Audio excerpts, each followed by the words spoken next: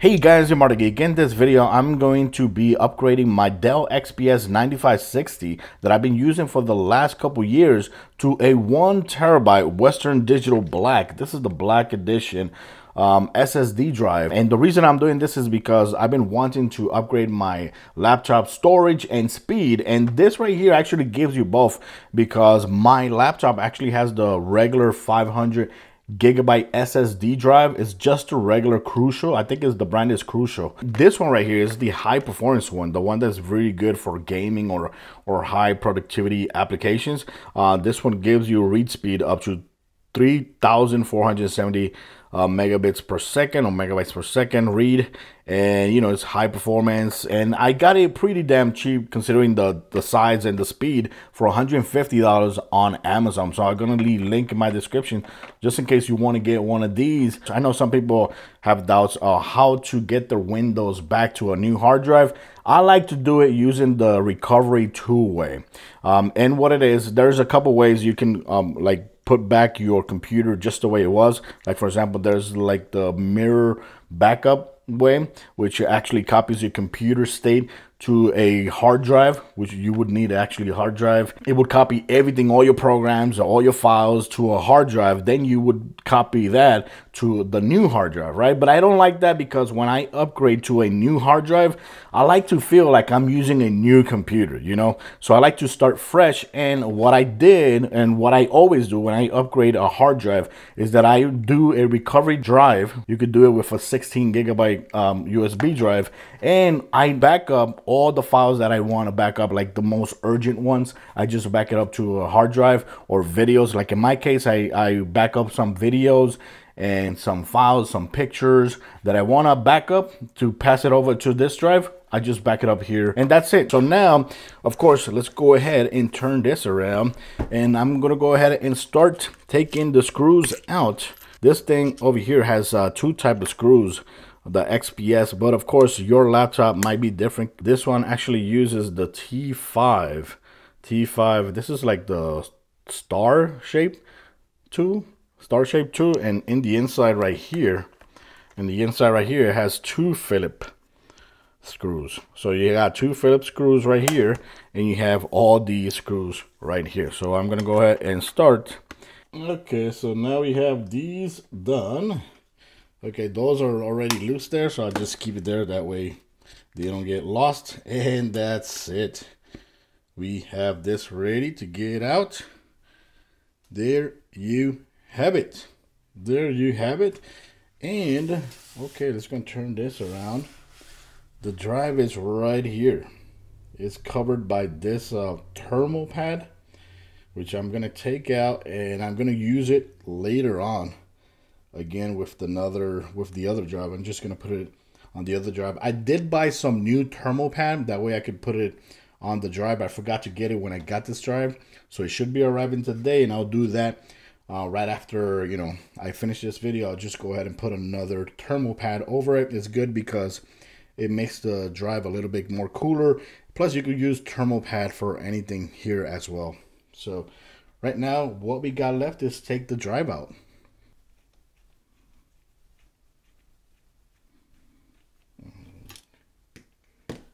Okay, there you go. And, oh man. Wow, it comes out so easily. There you have it. Look at that. So this right here, let's see what brand is it. I don't see the brand, but it's a 500 gigabyte card. And the cool thing is you can actually use this as an external drive now. Okay, so now we're gonna go ahead and take the new drive which is right here. And man, these things look so much bigger on photos on Amazon. That is so tiny. Look at that. Awesome. One terabyte MNV. There you go. And woohoo, that is so nice. Look at that. And the other side looks nice and clean. Awesome. Just gonna put this right there. Just the same way that you put the other one that you took the other one out. Just make sure it slides in. There you go. Slide in. You feel a little click there. And that's it. That's how easy. That's how easy it is to replace your SSD drive. on most laptops. There you have it. So, like I said, almost on any laptop you could think about um, that you can actually replace the SSD drive. Uh, it's so beneficial because it's so easy, and it's a great upgrade. You know, it's a very good upgrade that it's totally worth doing because, um, especially if you go from a normal SSD drive to a high performance one, you should notice the difference in speed and of course the capacity is double. And uh, I'm gonna use the same thermal pad that was on the other one but like I said this doesn't go bad that much uh, but I'm just gonna go ahead and put it right there over. That way you can keep the drive nice and cool. And that's it. That's all you have to do. That is done right there. Like see right there just make sure when you put the drive in it actually snaps in right? And make sure you secure it. Don't tighten it up too much. Don't go Hulk on it and tighten it up too much because you don't want to damage the screw or the uh, the motherboard. So don't tighten it up too much. Just make sure it's nice and secure and it's not going to move from there and that's it. Okay, so guess what? Right after I finished installing the SSD drive and closed the laptop, guess what? I just received this on my front door. These are the thermal pads. So I decided to go ahead and re-edit the video again and go ahead and add these thermal pads. I bought them on Amazon. I think this is a pack of four for six dollars. I think it was. And the cool thing about these is that you don't have to cut them because they already come at the same size as the SSD drive. So it's the same size and they're just one millimeter thick. They're one millimeter thick and just make sure you take away. It has two plastic, one on each side. And what I'm going to do here is put it right over it. There you have it, just like that. Right over it. And I'm to go ahead and put another one, another thermal pad that didn't have before, uh, right here on the heatsink, right over the CPU and the GPU. I'm to go ahead and put one there. You don't have to but I'm gonna do it anyways because uh, it makes it a little bit more cooler so it won't hurt your laptop okay? So if you do it or you don't do it it won't hurt your laptop at all. So I just put it right there. There you go. So now I got thermal pads on a new thermal pads on the SSD and now I have a thermal pad right here on the heatsink right over the CPU and the GPU, which is right there. Some people also put some third pads here, third pads here, but I'm just gonna go ahead and put it like that. And that's it. So now let's go ahead and close it for reals this time.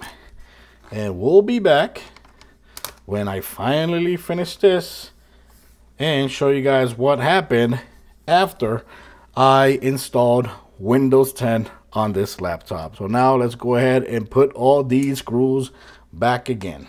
Okay, so we got all the screws done and we're ready to go. So uh, one thing to keep in mind is that we're going to use this USB drive, right? And just make sure it's actually plugged in to your computer, uh, to, of course, one of the USB drives or ports, of course, because we're going to go ahead and restart the computer and we're going to go to boot menu that way um, it loads up and we can actually load from the drive. So you want to do this this is going to be crucial because remember your hard drive has no operating system whatsoever and you want to make this as smooth as possible. So of course we're going to go ahead and plug in the USB drive that we use to create a recovery tool. And in my case my Dell XPS when you turn it on to go into boot mode uh, you have to press F12 before the logo or when the logo appears. So that's what we're going to do right here. I'm going to go ahead and turn it on. There you go. And press F12. I'm just going to start tapping F12. There you go. Whoop. There you have it. It uploaded. There you go. Let's go and fix the camera here. Another thing you want to make sure is that your laptop also has power, right? Also has power because you're gonna be installing this Windows or recovering from your USB drive and you don't want anything uh, that the power causes it to malfunction. So like you see there, when we got here, I automatically recognized the drive that I have right there, UEFI boot. SanDisk Cruzer Glide, which is this right here. So with your you know, with your um, up and down button on the keyboard, you can move around here, right? But what we want to do is stay right there and click enter. So when we click enter, it should load to the drive. Let's see if it's true. This is going to be the first time I do this in a long time. So it's been a long time I don't do this. Okay, there you have it. So load it up to choose your keyboard. I'm going to choose US, of course. Uh, says recover from drive. Reinstall Windows from the recovery drive connected to the PC. Uh, reset your PC to see advanced options. Turn off your PC. So you could go ahead here. For example, if you're doing some other stuff, you could go ahead here and see all these options right here. Let's go back again here and let's go ahead click right here and right here it says just remove my files. Use this if you're keeping your PC oh this one right here is fully clean the drive. Use this if you're recycling the PC this can take several hours. Just remove my files because I'm gonna keep this PC so I'm gonna click right there and recover. That's it so we're gonna go ahead and recover because like you see right there, it's gonna do a fresh install of Windows 10. Okay, so here we are right after finishing installing the SSD drive and after installing Windows 10 freshly on the laptop. Now I had to change the way that I installed Windows 10 on the laptop because like I was showing you guys, I was to do the fresh install of Windows 10 using the recovery USB drive that I did, right? But for some reason, my laptop didn't want to finish installing Windows using recovery tool. And I think it's because it couldn't recognize the new hard drive or the new SSD drive. So I was in panic mode in a second there until I realized that I can in, download the Windows Creator tool from Microsoft, which is right here. This page right here, uh, this right here actually was a lifesaver. All you got to do is go to uh, create Windows 10 installation media. What this does is that it lets you download Windows 10 or the create Windows 10 installation media to, to a USB drive and install a fresh Windows 10 on a new laptop. So that's what I actually had to do. Um, it's totally free to do it via here as well. And it's basically the same thing that I was going to get from this. Because remember, I was going to do a fresh install from the recovery tool. Because remember, hard drive is new, so there's nothing in it. And my backup, everything that I backed up was on a, an external hard drive. So that's how I get my other stuff into my computer. But all I had to do is download this. If you have the same problem, just download this. Uh, make sure when you are creating this on another computer, right? I did this on another computer. There's an important option that says upgrade this computer or create a flash drive so you can use it on another computer. That's the option you're to choose. And once you finish, it's to take like almost two hours to create this. That's it. The only thing that I had to do is put this on the USB port, turn on the computer. I didn't even have to press one of these um, F2 or F12 buttons. And automatically the computer loaded up to the Windows installation process. That's it. All you have to do is follow the installation process and you get Windows 10 for free. Everything's working perfectly good. I did a couple benchmark using the the this right here let's go and open it up. Okay i did a couple benchmarks doing the crystal disk mark and look at this look at this oh wait oh, oh. no what am i doing? Okay i'm trying to switch to the other drive okay see the scores. These are the scores that i got before the upgrade. These right here are the scores with this SSD. I got that score 1763, read 764 write. I did another test 1682, read 774 write, right? And then when I did the upgrade, Look at that. 32, 95, 27, 74. That is a huge jump in speed. And I did the other one. Wait a second. I did two tests. Okay, that one. Okay, look at this. 34, 44, 29, 69. 32, 95, 27, 74. Look at that. Look at those different speeds. That's insane. So the difference in speed is totally different. Now, for some reason, keep in mind, I'm using Crystal Disk Mark 7 on this new hard drive. And on the other hard drive, for some reason, I guess I it jumped to another version, is um, a Crystal Disk Mark 6.0, but it's still 64 bits. So that's a huge freaking difference. That's a huge freaking difference. So right now, so far, I'm happy with the upgrade. So the other upgrade I think I would do later on in the future is adding a 16 gigabyte um, stick, RAM stick, make it a 24 gigabyte RAM computer. That would be freaking awesome. And that's it, guys. So I just want to share this video with you guys, just in case you all have a computer just like mine and you're thinking of upgrading your SSD drive. This drive is so freaking awesome. and it's kind of cheap compared to the Samsung one. And this is the high performance one, which is better for gaming and productivity apps. So this is really good. So now with the other SSD, if you want to think about something to do with this, you can easily buy an enclosure and make it an external SSD drive. So that's what I'm gonna do later on in the future. Like you saw in the video, this I actually got it after I finished installing everything. Uh, these are the thermal pads, which are very cheap. They're like $6 for a pack of four.